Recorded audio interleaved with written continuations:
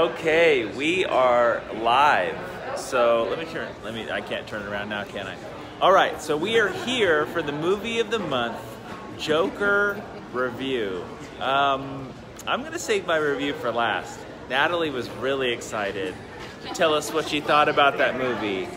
Oh look. Oh, there she is. Hello. I'm, I'm a little traumatized. Traumatized. Yes, okay. How so? Um, well, there was nothing happy about that movie. It was literally just sad and terrible. So, so like you have to be at least at least ten to watch that movie, or it's not a kids movie. I think I'm too young to watch that movie. All right. Okay. So if you get one low, ten high, what do you give it? uh, It's okay. I okay. would say like a one. A one. This is the first. Hey, this is the first movie of the month history ever to get a one. Good. Congratulations. You won a prize. Yay! All right. Twenty-five Sweet. Amazon gift card. Yeah. Oh. Now, let's turn this around. All right, Carrie. What do you got? Give That your was a really, really hard movie for me to rate. Um, Yeah. I want to say like it's kind of like one of those American History X movies where you're like it's a good movie, but by saying it's a good movie, you look like a terrible person. Yeah. So Okay. So what'd you like about it then? um, the music and the dancing was great.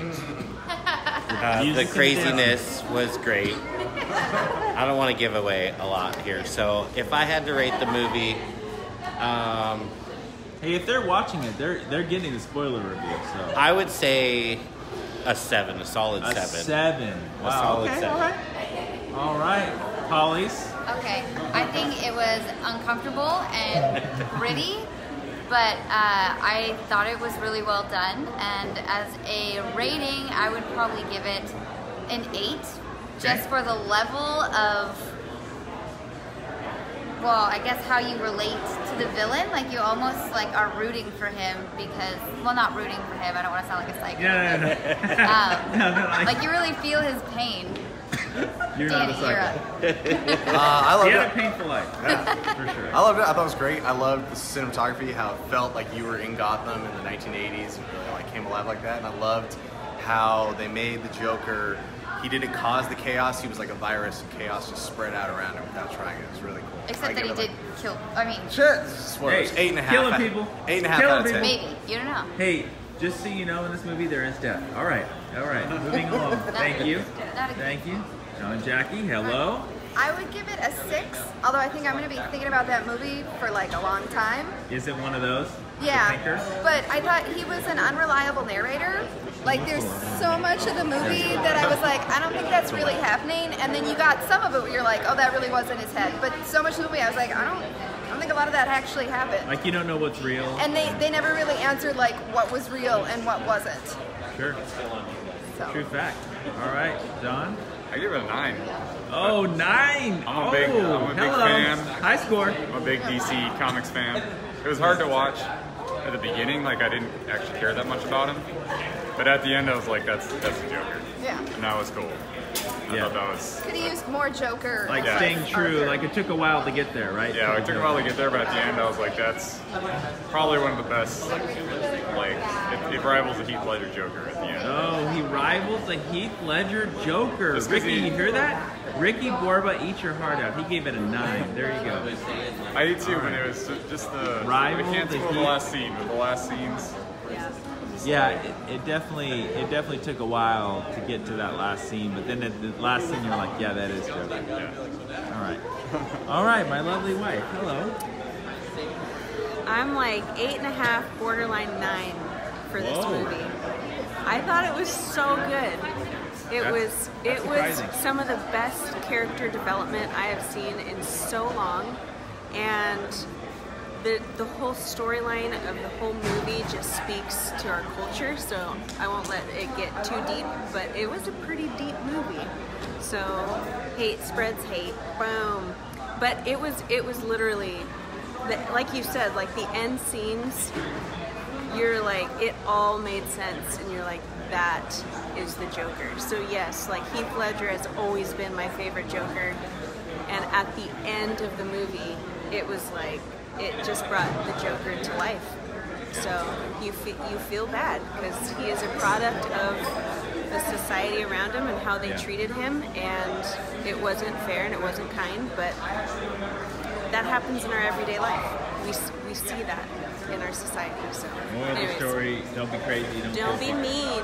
Don't be mean to people, because you never know what's gonna happen. Go watch it. All right, Mr. Rebello, What's the up? Rebello, That's me. ericrebello.com.org. Hello. Actually, I do have both. So I yeah. know. Mm. All right, what do you? I'm already like thinking of like thoughts about this movie. Um, Eric I'll and, I, say, Eric and I looked at each other at the end and we're like, that was like dark. whoa, like that was the that was one of the darkest films I've seen like in my whole entire life, and I think the guy Todd Phillips who directed the movie did a good job with making it dark. Um, I would say that if you look at the stuff in the news about this movie, what they're fearing is that mentally ill people are going to see the Joker as like an idol and they're going to do bad things. That's what Yeah. they've been saying in the news. I halfway believe that because that's kind of how people's psychology works. But at the same time, it is a good um, artistic concept of someone that has all those kind of trauma and everything like that. So, like uh, like Vanessa said, I think good character development. But if you can't stomach a dark movie, don't watch it. Uh, I'm not going to give it a score. I would say personally go watch it if you can handle that stuff. If you can't, then then don't watch it and just see what they're talking about in like news articles and things, and you'll get the, the concept of the movie. If that makes sense. Concept. We're speaking concepts, y'all. Concepts. All right, so check it out. I will say that this movie was Carrie. Hello, he's in the house. I will say that this movie was extremely dark. When I say dark, I mean he's right. Eric is like, it's one of the darkest movies I've seen.